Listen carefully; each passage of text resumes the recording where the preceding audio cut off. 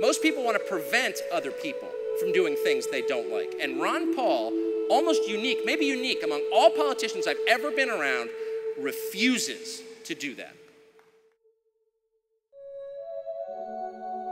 Look at the peerless, shining example he set. Look at what he has done. Look at this historic event and dream of what he will achieve in the future with our help. The strength of the vision that Ron Paul and the founding fathers have put forward is it is not necessary for us to agree on everything. It is necessary that we agree that we should all be free.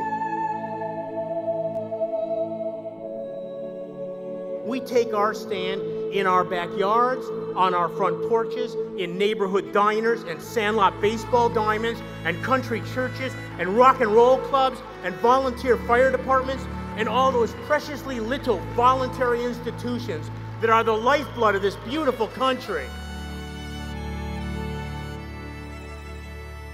This is it. Look around this room.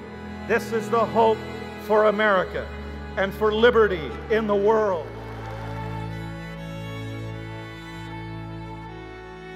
We are finding new leaders to carry the torch of liberty. And believe me, we can win.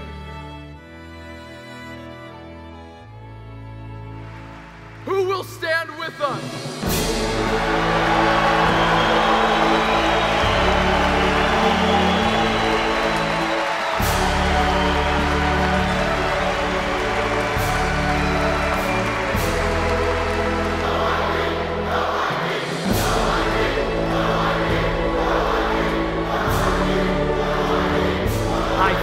Believe now that our day is coming.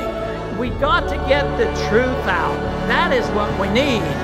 Ideas spread, they can't stop them.